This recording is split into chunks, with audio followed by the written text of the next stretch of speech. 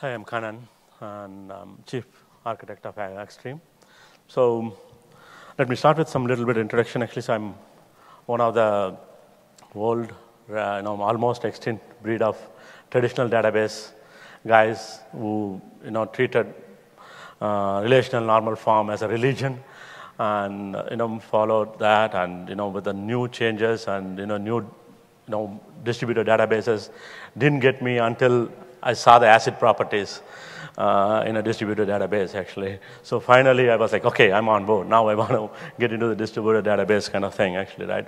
So um, we, you know, Axstrm is a part of Axim Soft. We've been around for 15 plus years, and we've been in the database development and support kind of work, actually. So right now, we've been focusing more on uh, Foundation DB, and mainly our focus is on developing data stores for AI and you know for different models actually right? That's what our focus is right now. We have been creating uh, data stores and you know for creating models you know deep learning models. And we our go-to database has been foundation db now actually right? For so many other reasons and one of them is the um, flex, you, know, you know all the flexibility in the design of the schemas and stuff actually. So right uh, that said I'll, i want to go over a, one example of what we are doing right now, how we are using Foundation DB. So we've been developing this application for one of our incubation startups. Um, so it is for a swim app, actually, right? You know, a mobile app.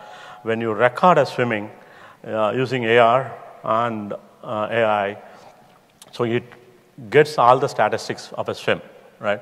Or it detects the strokes and it gets the velocity uh, of the swim in instantaneous velocity of the swim, and it gets the strokes and uh, you know, all the basic statistics of a swimming by just recording it.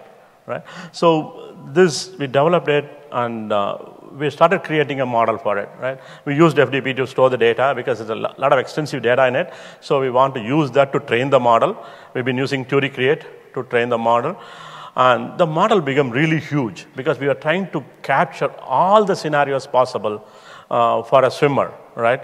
But swimmer here, swimmer in Japan, swimmer in you know Europe, so they are different. Their swimming styles are different. You know, things are different.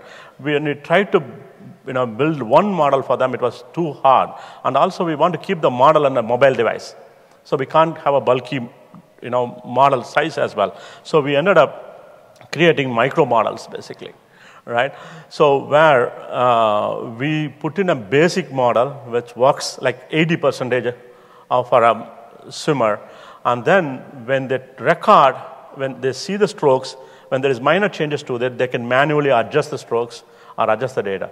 And we capture that change every night, and when they sign up for it, basically. So it sends back to the cloud those data, and we spin out a one you know, Docker setup, right? Because we don't want to, that data has to be shared by any other data. You know, we don't want to mix it with any other data. So we create one stream of process basically takes the images and data and trains the model and validates the model as well. So we have a set of data to validate it because we don't want to create a model just because somebody sent the data, right? So we want to validate it and then send the updated model back to that device. And then that cycle goes on until it gets perfect or, you know, we have validation saying, hey, you know what, the success rate is, you know, the success rate is so high, so we don't have to train anymore. Or when the changes happen, then we train again. Uh, so this is the model we've been using right now. So where we use Foundation DB for the orchestration, and also in a, a lower footprint of Foundation DB in the Docker setup to use it to train the models actually, right? So this is the one scenario we've been using, and it's been effectively working for us in a, in a way. And so we have been, other than this, we've been using in ACTech and solar and many things as well. Okay, so that's all I want to share today, actually. So, you know, we are database support and services team. So if you need any help in uh, development or support or even, you know, creating some POCs, uh, please reach out to us and let us know. Thank you.